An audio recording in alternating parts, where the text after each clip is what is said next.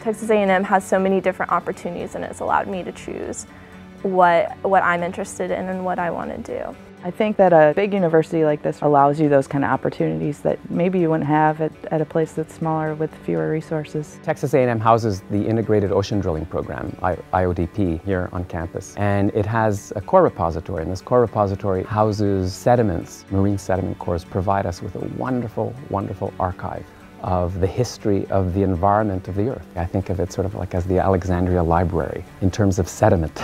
it's a worldwide program that kind of work together to probe the seafloor and make discoveries about the ocean, about Earth's history, about the formation of the Earth.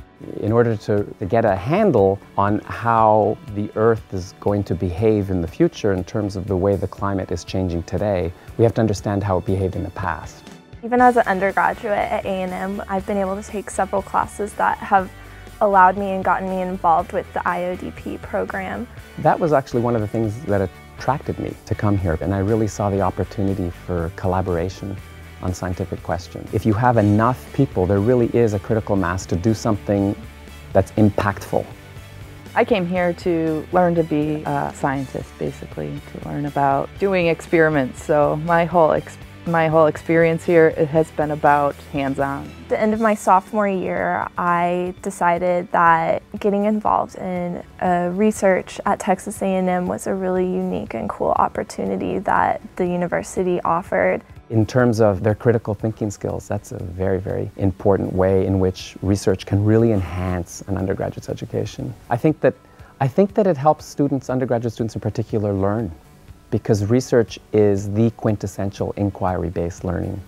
I was the only undergrad that went on this NSF cruise and it really was an amazing experience for me to get out there and see what life is like on the ship and work with graduate students and faculty from A&M. I think Alyssa sort of looked up to Stella as a role model on how graduate students or research is performed by graduate students.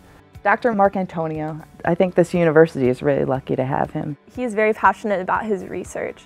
Most of the questions that I'm dealing with now have to do with climate change in the past. And because of him, several people have become inspired and really interested in geochemistry because he did such an excellent job of teaching. I think that doing state-of-the-art cutting-edge research really enhances your teaching. I think it's really valuable to be able to go out and be an active learner apart from the aesthetic beauty, in my opinion, of being in the field, I think it gives them hands-on experience to do research in a true environment.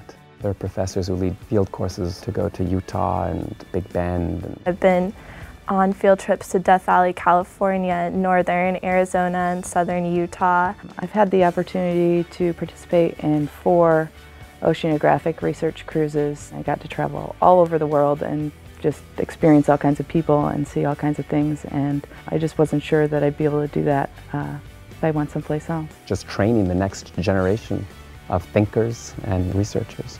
I think that students have to understand that research can be a lot of fun and that, you know, and besides a lot of fun, you can make a real difference in the world.